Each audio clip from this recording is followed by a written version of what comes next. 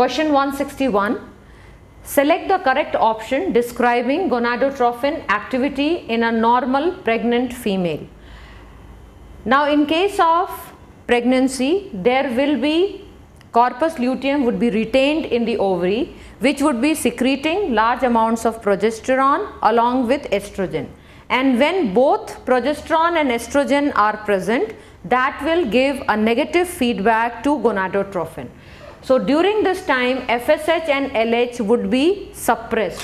Now the first option says high level of FSH and LH stimulates the thickening of endometrium. So now at this time FSH and LH are suppressed. So of course their high level cannot be there and moreover FSH and LH do not stimulate the thickening of endometrium. So this is wrong. Now next one again high level of FSH and LH this again is wrong and certainly they do not have an effect on facilitating implantation. For implantation progesterone is required. Next is high level of HCG stimulates the synthesis of estrogen and progesterone. Now this is correct because the growing embryo will be secreting HCG from its trophoblast cells and those trophoblast cells which are secreting HCG, this HCG maintains corpus luteum so that the secretion of estrogen and progesterone can continue. So this is the correct answer. The other level high level of HCG stimulates the thickening of endometrium. So of course HCG does not have a direct effect on endometrium rather HCG is preventing the regression of corpus luteum. So our answer is 3. After this we can move on to question 162.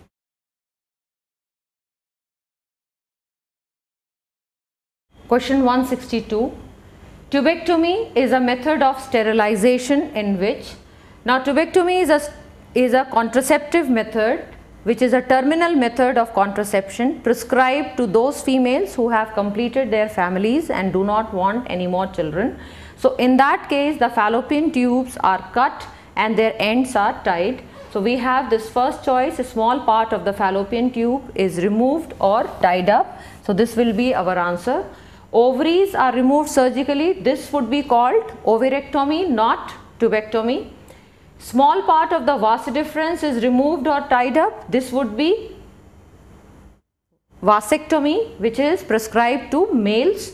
And the fourth one that is uterus is removed surgically, this is hysterectomy and again not tubectomy. So, the first choice is the correct answer where the fallopian tubes are cut and tied up and this is as we said a terminal method of contraception.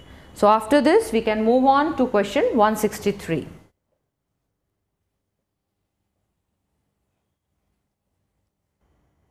Question number 163 which of the following is a hormone releasing intrauterine device?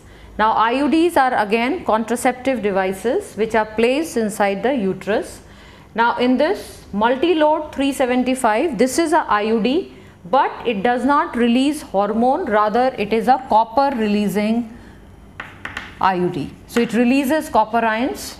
Then LNG20, LNG20 is releasing levonorgestrel which is a synthetic progesterone. So this is certainly hormone releasing IUDs. Cervical cap and vault both of these are barrier contraceptives and so that is why our answer would be LNG 20 because LNG 20 is the one which is releasing levonorgestrel which is a progesterone analog.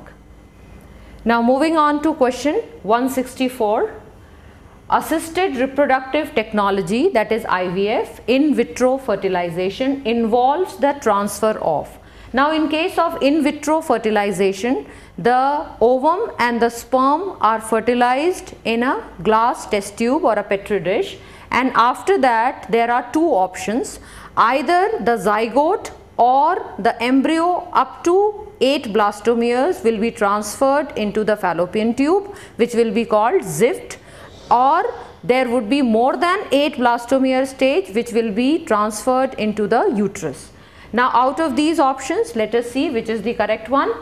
Ovum into the fallopian tube So this is certainly wrong because after IVF it won't be the ovum, it is going to be the zygote.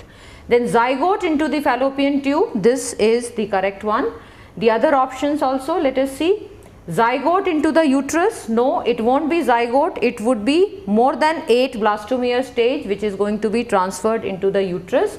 And fourth one, embryo with 16 blastomeres into the fallopian tube. This again is wrong because only up to 8 blastomere stage it is transferred into the fallopian tube. So our answer is 2 where that zygote is being transferred into the fallopian tube.